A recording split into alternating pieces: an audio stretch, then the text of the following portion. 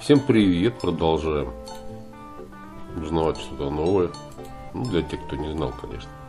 Герафила. В греческой мифологии одна из сивил-прорицательниц. Жрица Аполлона, наделенная даром ясновидения, родилась в окрестности Трои от нимфы и пастуха. Упоминается во фрагментах Евмеля Каринского, 8 век до нашей эры. Аполлон предложила юной жрице все блага мира за то, чтобы она согласилась ответить на его любовь. Она же взамен выпросила у Бога дар прорицания и столько лет жизни, сколько пылинок в кучке мусора, который она только что подмела. Пылинок в куче оказалось больше тысячи.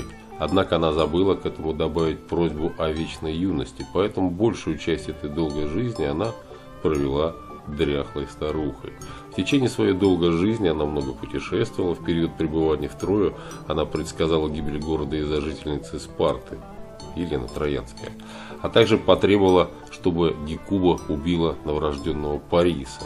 В Италии Герофила опекала бежавшего из Трои Энея, предупреждала его о грядущих испытаниях, помогала ему спуститься в Тартар, чтобы увидеть умершего отца, и, наконец, предсказала великое будущее, основанное Инеем городу Риму.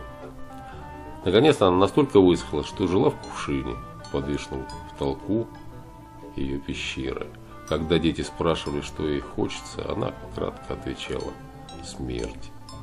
Герофилу иногда отождествляет с кумской или эритрийской Сивиллой. Ну, хочу напомнить, что Сивилла – это легендарная прорицательница, предрекавшая будущее. Обычно какие-то бедствия. Вот так вкратце о Герофиле. В греческой мифологии одна из сивил прорицательниц. Данные Википедии. Пока-пока. До свидания.